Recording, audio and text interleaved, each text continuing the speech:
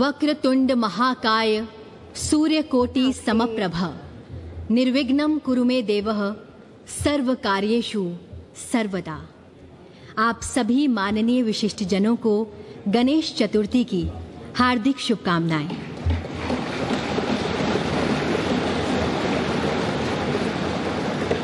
आज का दिन इतिहास के सुनहरे पन्नों में अंकित होने का दिन है। ये दिन परिवर्तन का है।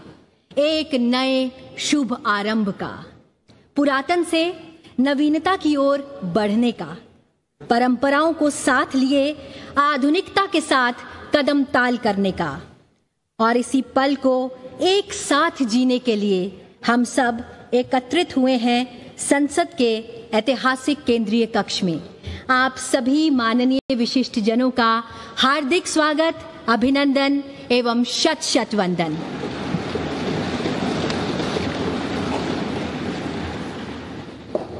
कार्यक्रम को प्रारंभ करने हेतु मेरा सादर अनुरोध माननीय संसदीय कार्य मंत्री जी से कि वे स्वागत संबोधन प्रस्तुत करें। आप सभी को नमस्कार। I am feeling proud privilege to be the part of this historic occasion where we have assembled in this iconic central hall for the celebration of our 75 years of the parliamentary democratic journey and shifting to the new parliament building. First of all, I welcome Honorable Vice President of India and the Chairman of Rajya Sabha, Shri Jagdeep Dhankari ji, Dhankar ji, to gracing this momentous occasion. I welcome the most popular, dynamic, Honorable Prime Minister, Shri Narendra Modi ji, who has been real force behind giving us the new temple of democracy in the shape of new state of art parliament house building which is emerging as a symbol of atmanirbhar bharat.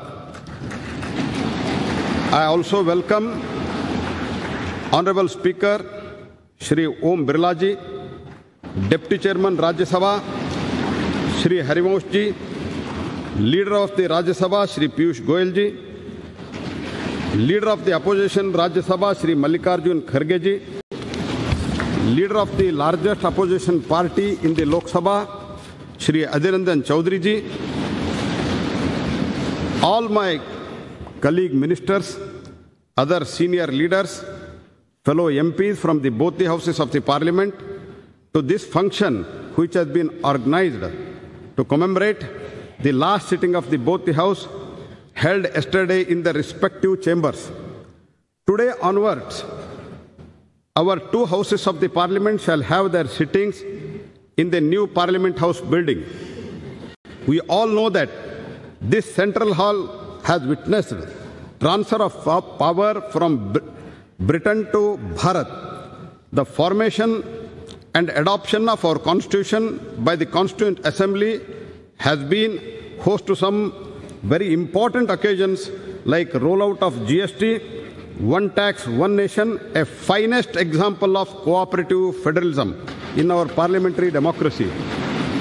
There, are, there were three joint sittings of the, both the houses of the parliament for resolving the deadlocks under the Article 108, that is the dowry production, the dowry prohibition bill 1959, the Banking Service Commission repeal bill 1978, prevention of terrorism bill 2002. You all know that Lok Sabha and Raj Sabha were sitting in this building since 13th May 1952.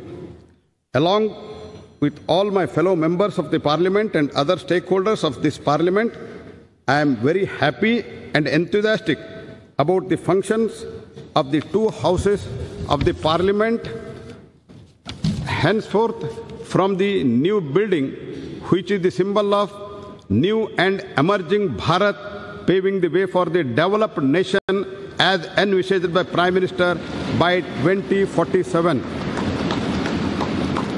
At the end, I would like to say that our journey so far is marked by excellent achievements memorable experience, difficult challenges, remarkable milestones. As we go ahead, let us learn from our previous experiences so far and reaffirm our commitment to our historic democratic values and tirelessly work for the betterment of the person in last in the queue. Jai Hind. बहुत बहुत धन्यवाद मान्यवर अब संबोधन हेतु मैं आमंत्रित करना चाहूँगी लोकसभा में कार्यकाल की दृष्टि से वरिष्ठतम वर्तमान संसद सदस्य श्रीमती मेनका गांधी जी को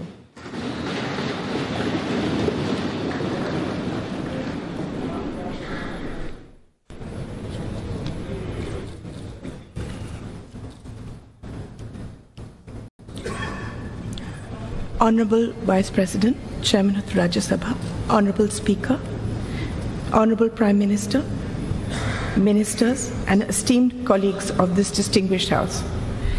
Actually, I'm as surprised to be here as you are to see me. This is a historic day today. I'm proud to be part of this historical moment when a government under the leadership of Prime Minister Sri Narendra Modi ji has undertaken to repair the deep rooted asymmetry and to give an equal share in India's future to all of us women. I'm grateful for the honor. I'm grateful for the honor you have given me of speaking about my years in Parliament. We are going to a new building, and hopefully, this grand edifice will reflect the aspirations of a new Bharat.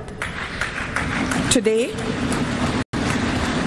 I have been entrusted with the responsibility of addressing this esteemed assembly as the most senior member, uh, most senior parliamentarian in the Lok Sabha.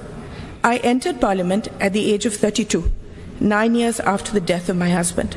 My debut was as Minister for Environment.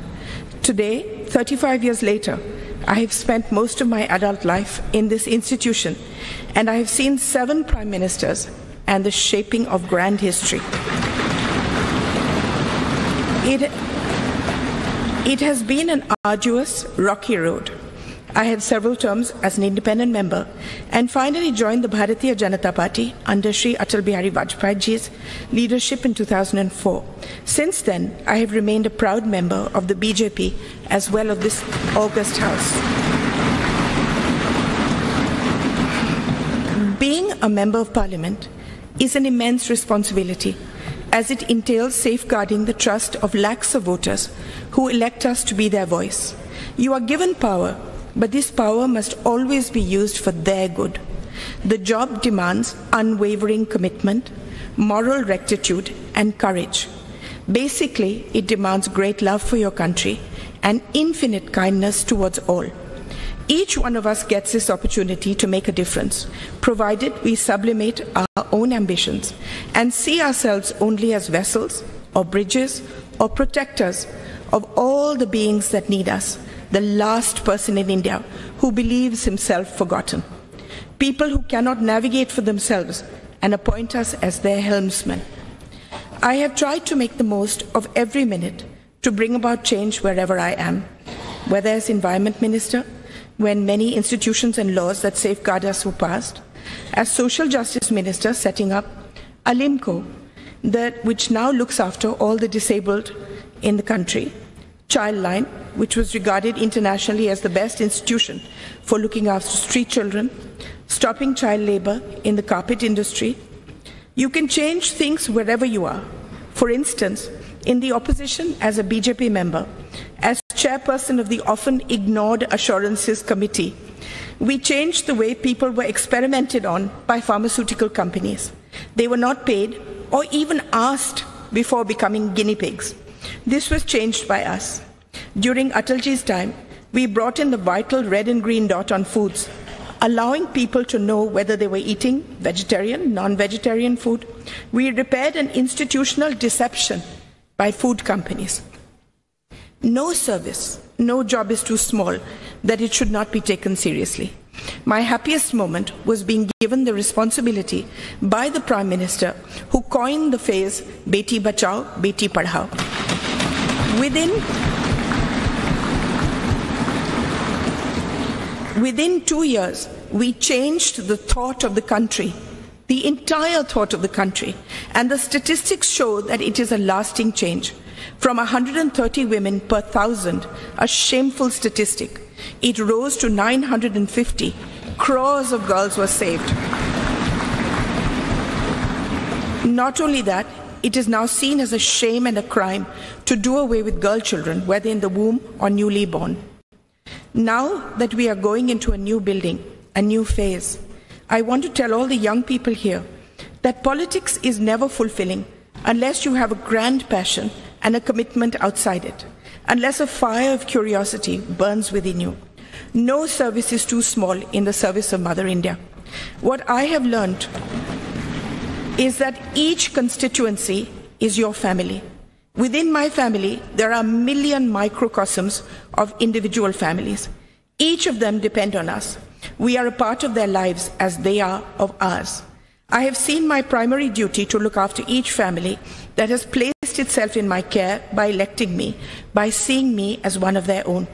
In this matter, I wish to say that the Prime Minister has seen beyond people as a statistic and has meticulously seen to the needs of each individual family. Opening,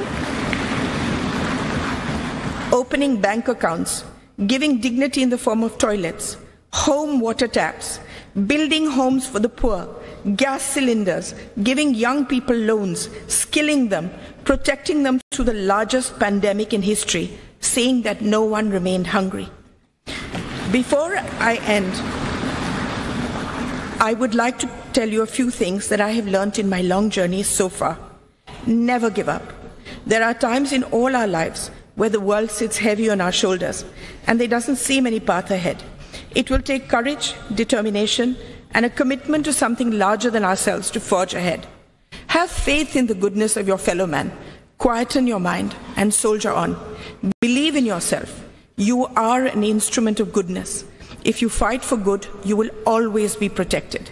Use the pain that we all have in our hearts to make yourself a better human being, not to embitter you.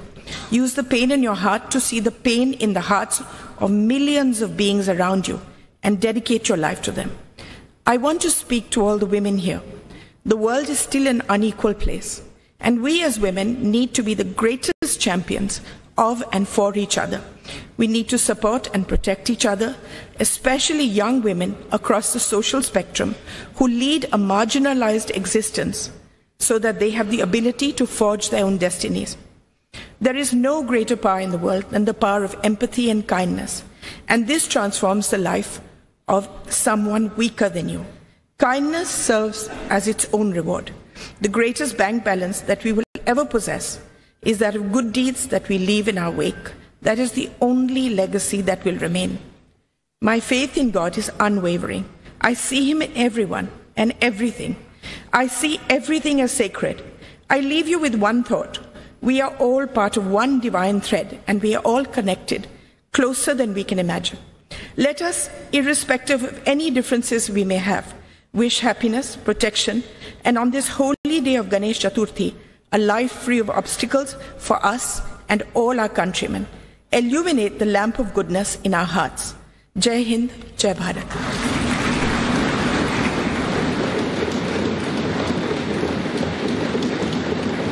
बहुत बहुत धन्यवाद ma'am आपने बिल्कुल सही कहा ये वो देश है जहाँ बेटियाँ आगे बढ़ती हैं ये वो देश है जहाँ परंपराओं के साय में आधुनिकता पनपती है ये वो देश है, वसुधैव कुटुंबकम जिसका नारा है, विश्वगुरु भारत, ये देश हमारा है।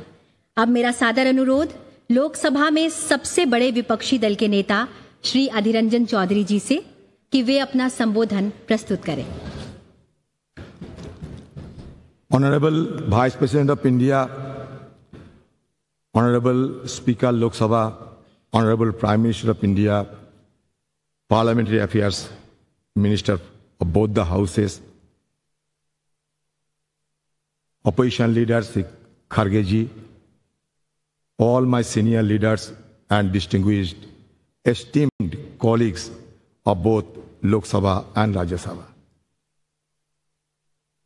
Having seized this opportunity without making any compunction, without mincing any word, I must state that I feel elevated and elated of having been stood in this podium, which had witnessed a caravan of historical episode and numerous numerous momentous events in the midst of the galaxy of luminaries who had rigged up their brain and burned the midnight oil to frame the Constitution of India in this august house, which is called at the time Constituent Assembly.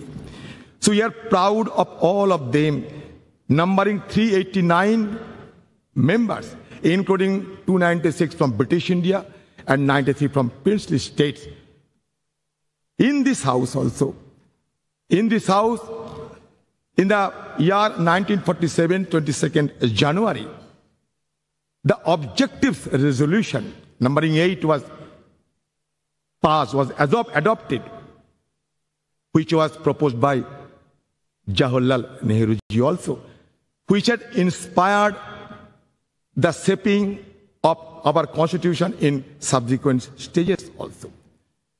So now, in this august house, all of us are well experienced and known the journey, the odyssey of our constitution from colonial past to independent India. We have observed the transition of the destiny of this great country named after India. It is astonishing to note that those 389 members intensively discussed among them for two years, 11 months, and 19 days, and produced the largest constitution of the world led by Baba Sahib Ambedkar, the father of Indian constitution. We have been gifted with 395 articles. Also, 22 parts and 8 schedules. So naturally, the house which is called Central Hall. It is a historic hall. It is not, it, it will not be known by simply its architectural splendor, but its illustrious legacy. Now I come to the point that our ability to attain developed nation status by 2047 hinges on the active involvement of our citizens and the unwavering dedication of their representatives. The groundwork laid in the formative years of our nationhood and also the subsequent years has empowered us significantly. However, we are confronted with intricate challenges that require immediate attention and resolution as we progress towards this objective. I don't have any idea of what is called and how a country to be recognized as developed country by any designation. I do not have any idea of any global consensus is existed or not. Because when we see other developed countries, among the various key determinants, one determinant is always followed, that is Human Development Index. And insofar as Human Development Index, India has been lagging behind and we are ranked 131 out of 189 countries. At present, Disconcerting reports reveal that the top 10% of India's population controls a staggering 77% of nation's total wealth. In 2017, a staggering 73% of wealth generated has reportedly gravitated towards the wealthiest 1%, while staggering 670 million Indians constituting the poorest half of the population saw their wealth increase by mere 1%. This stark disparity presents a crucial challenge in ensuring that millions of people living below the poverty line have access to fundamental necessities like food, shelter, and healthcare a prerequisite for advancing towards developed nation status.